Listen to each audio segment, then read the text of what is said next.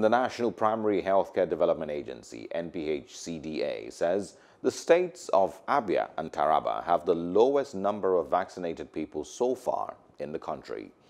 According to it, no fewer than 800,000 people have been vaccinated in Nigeria. Nigeria kicked off vaccination on the 5th of March 2021.